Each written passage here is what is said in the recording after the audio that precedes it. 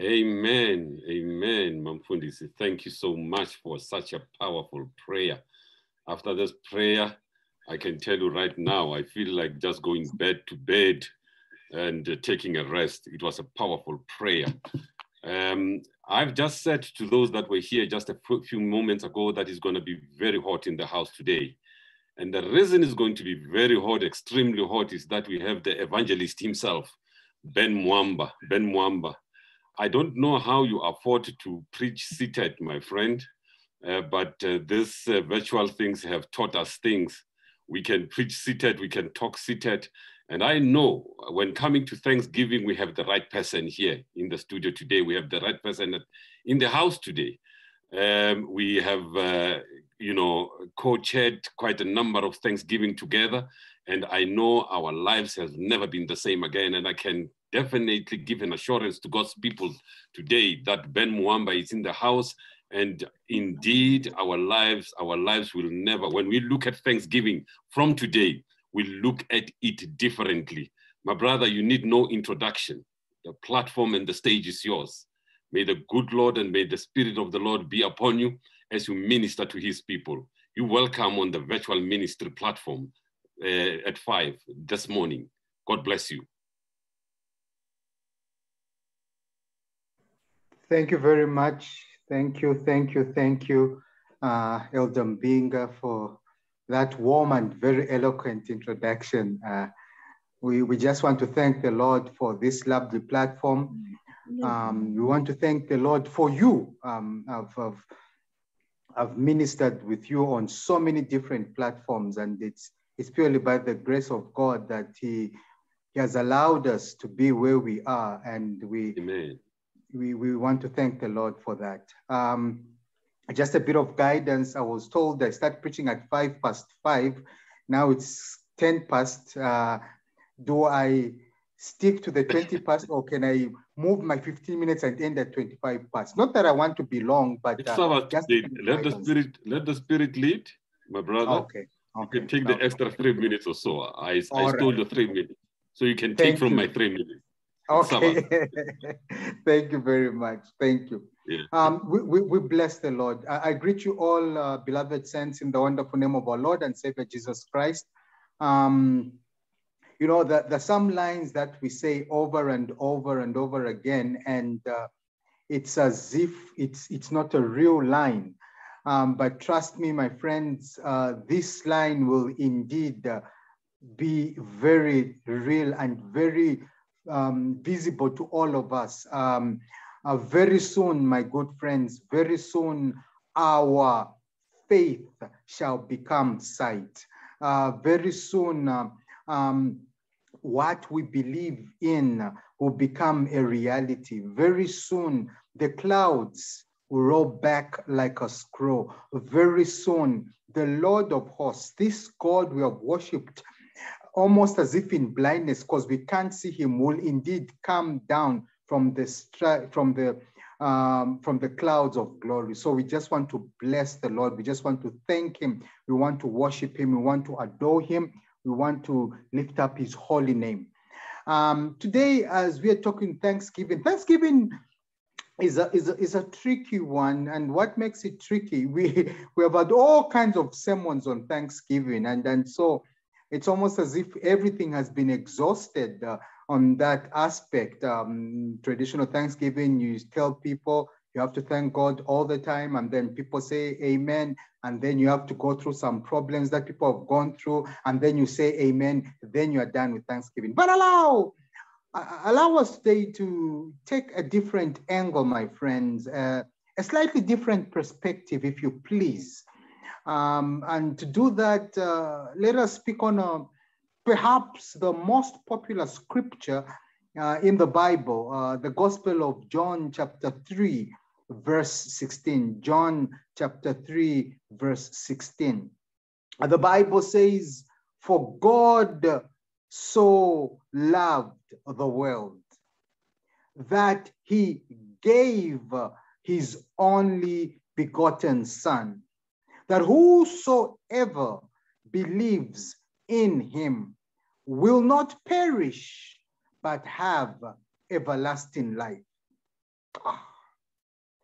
For God so loved the world that he gave. Now, when you're doing basics of preaching, you know that uh, the proof of the giving, of the loving, was in the giving. So, God so loved the world that he gave. So, what did he give? He gave his only begotten son. He gave his only begotten son. Now, that is very important. To prove that he loved us, he gave. And what did he give? He gave a person. let me come again. To prove that he loved us, he gave. And what did he give? He gave a person. My friends, as we talk of Thanksgiving, we usually don't look at it in, in the context of people. When we talk of Thanksgiving, uh, we talk of Thanksgiving in the context of receiving things and uh, we receive healing and uh, we receive promotions at work and uh, we receive money and we receive wealth and uh, it, it, it's okay. Yes, we thank God for that. That is wonderful. But seldom do we talk about Thanksgiving in the context uh, that we were given a person. Um, that is why uh, I don't know if you noticed when we started, I, I deliberately said, I thank God for you, Elder Mbinga, um, because uh, Elder Mbinga wouldn't be there for all these services that he has done for the body of Christ if God did not give us Elder Mbinga. Uh, for God so loved the world that he gave his only begotten son. For God so loved the world that he gave Elder Mbinga. For God so loved the world that he gave us you who is listening. So as we are talking Thanksgiving, we often forget of uh, the gift of the person. We rush to thank the healing but we often forget to thank God for the gift of the doctor who prescribed the healing. For God so loved the world that he gave. You see, my, my friends, the best form of gift is not a thing or a situation. The best form of a gift is a person. You have to understand, my friends, that God is a relation of God. I'll repeat myself on that one. God is a relation of God. When God gives all these other gifts, he gives them to us so that we may strengthen and deepen our relationships. Whatever, from whatever perspective you look at gifts that you receive, whether it's a it's a situational gift, or whether it's a healing gift, or whether it's a physical gift, or whether it's a spiritual gift, whatever. At the end of the day, if you break it down to the basics, you find that the gift is there to promote a relationship our God is, is a relation of God. That is why you find in the writings of Paul, um, the Bible saying God was reconciling himself to us through the person Jesus Christ. The reason he gives us Jesus Christ so that we can be reconciled to. God is a relation of God. And the greatest form of gift is a person because it's in a person that we develop relationships. Having said that, then, my friends, we have to understand that as we give thanksgiving today, let us take this trajectory where we thank the Lord for persons, where we thank the Lord for people that He has placed in our lives. We're not just thanking the people, we are thanking God for the people that He has put in our lives. I'll speak. Um, have a friend, have a friend who who has been um, close to me for the past 24 years. We've been through thick, we've been through thin, we've been through so many things together as a friend. And I want to thank the Lord for my friend, not just to thank my friend, for he has done so many things for me, but I want to thank the Lord for my friend. Because if the Lord had not given me that friend of mine, then I wouldn't be going, I wouldn't have managed to go through certain situations. It's that friend of mine who was able to guide me when, when days, on days where I was broke and empty. It's that friend of mine who was able to give me medicine when I was sick. It's that friend of mine. So today, I want to thank the Lord for that friend of mine. So Thanksgiving today, we are talking of thanking the Lord for the people that He has placed in our lives. We're saying, God, thank you. Thank you for my parents. Thank you. Thank you for my spouse. Thank you. Thank you for that colleague of mine who's able to cover, cover up for me even on days where I just can't perform. Thank you. Thank you for that friend of mine who will listen to the same complaint over and over and over again. Thank you, God, for bringing that person into my life. Thank you for that friend online whom we have never met, but is always giving me encouragement and is always sharing verses. Thank you. Thank you for that person who creates a platform like this one where we can tabernacle together and call upon the Lord. Thank you, Lord, for people. God so loved the world that he gave a person, a person. Thank you, Lord. Thank you. Thank you. Let me tell you something, my friends. Thanksgiving comes in levels. Um, uh, you know, if, if, if, if, if you're speaking the street lingo of Pretoria, they'll tell you that uh, uh, levels. You're talking of levels, you know, you're talking of levels. Even Thanksgiving comes in levels. And uh, let's quickly look at that, then we wrap up. Uh, number one, level number one, entry level. This is where you thank God for your substance. So it's Thanksgiving level one. You are thanking God for physical gifts. You are thanking God for money. You are thanking God for the house. It's like a little child thanking God for ice cream. That is entry level thanksgiving.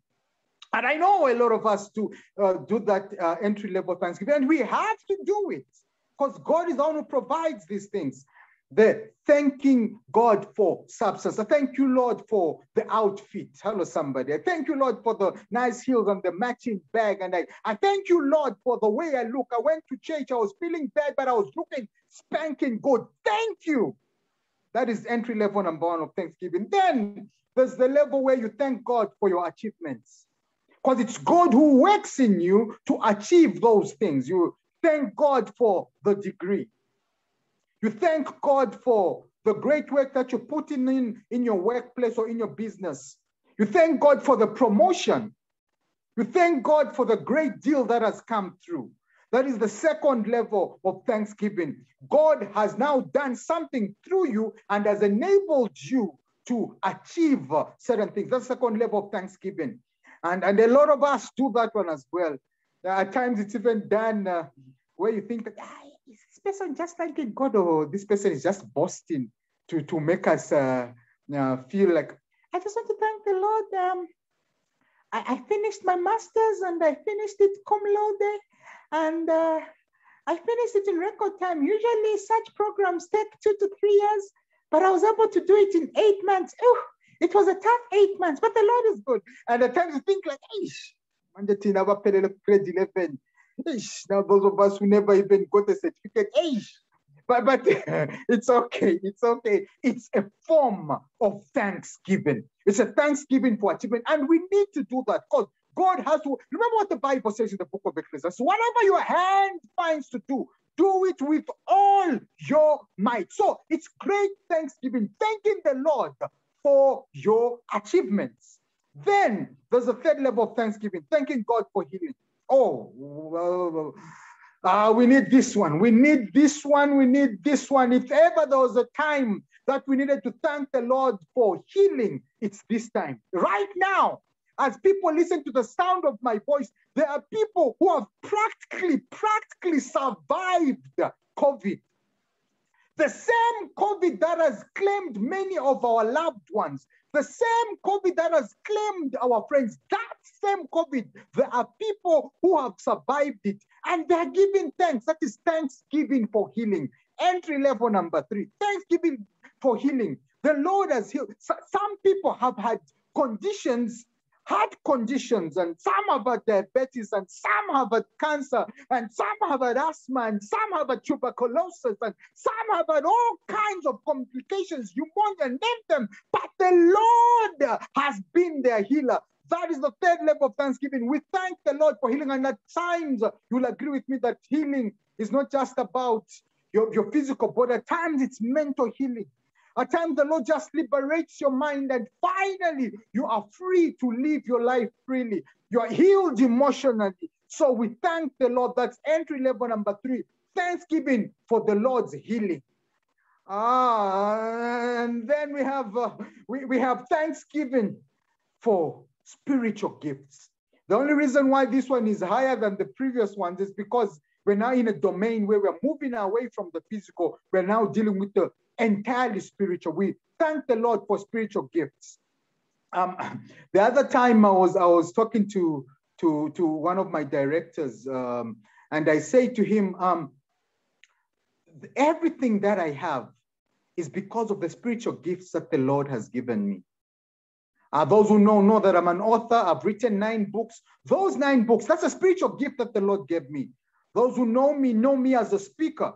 I've spoken on different platforms right across the world. And who has given me that platform? It's the Lord who has given me that gift. There's some of you who have sung or you have preached or you have led in so many different forms. Some of you are working for the church right now. It's because the Lord gave you a gift. That spiritual gift is now a gift that is putting bread on your table. All right. So we thank the Lord for that gift. That's that's another level of thanksgiving. All my friends, there's so many levels of thanksgiving that we can go to. And that, that is why Paul says, We thank the Lord who has given us spirit, this spiritual gift, and we thank Him who has seated us with Christ in heavenly places. We are here on earth, but we're seated with Christ in heaven. Why? Because He has given us a spiritual elevation. While physically we might look like we are low, but physically and spiritually we are at a higher level. There's, there's something about the world of spirits. So someday I'm going to preach on the world of spirits, and you're going to understand how that goes. But we, we thank the Lord.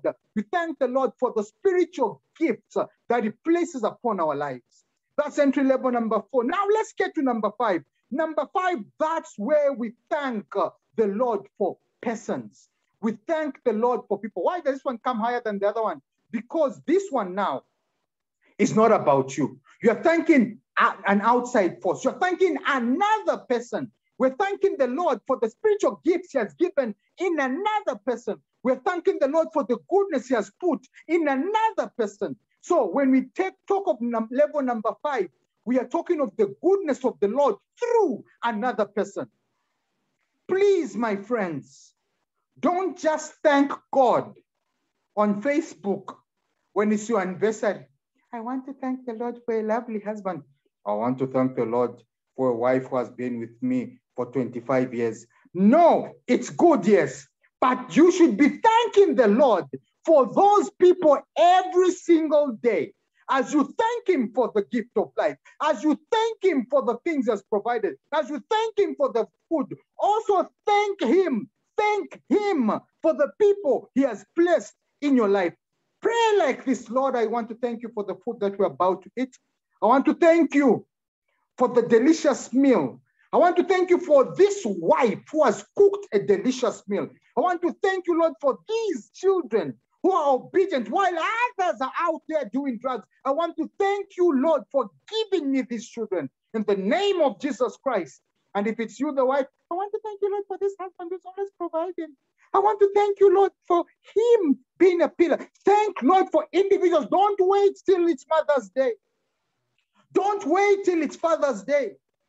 Don't wait till it's a birthday. Thank the Lord for presence, for God so loved the world that he gave. And what did he give? He gave a person.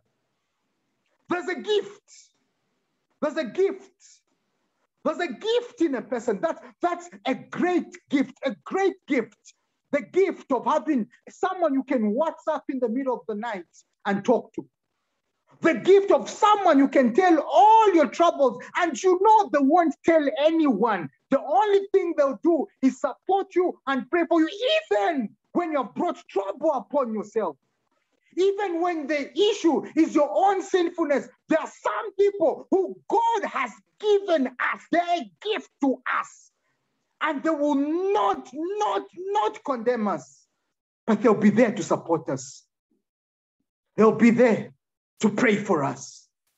We thank the Lord for the gift of leaders who have guided this church in a very, very difficult time.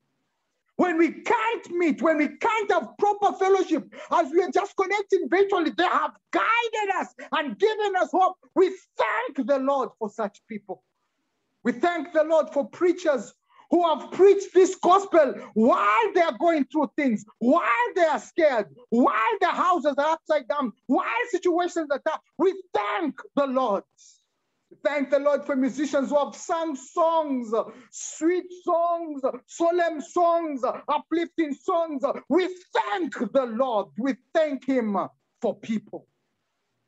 Thanksgiving for people. And Father, my friends, as we wrap up, there's obviously the highest level where we thank the Lord for Jesus Christ. We thank the Lord for Jesus Christ. We thank the Lord for a person, and that person is Jesus Christ. Because in Jesus Christ, we have the fullness of the Godhead bodily.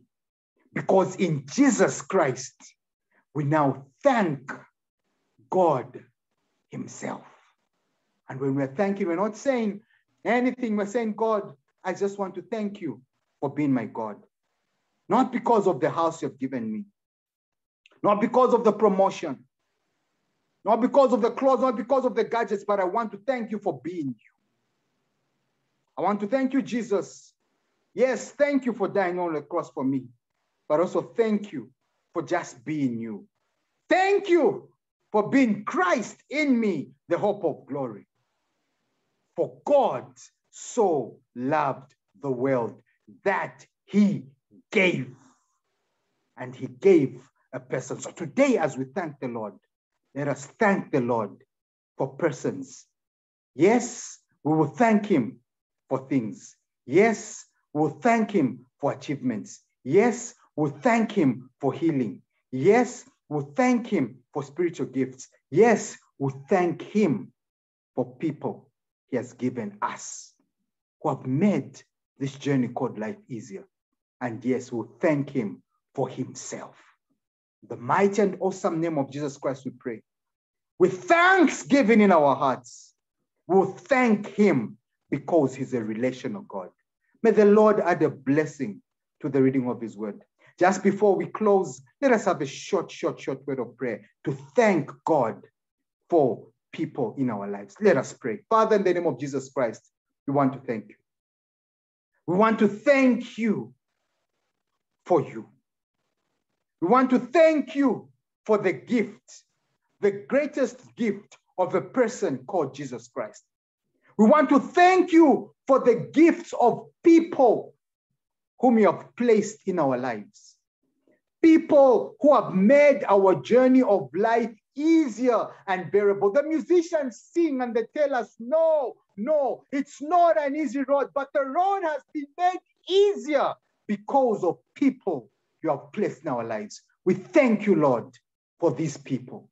In the mighty and awesome name of Jesus Christ, we pray with thanksgiving in our hearts. Amen and amen. Amen and amen.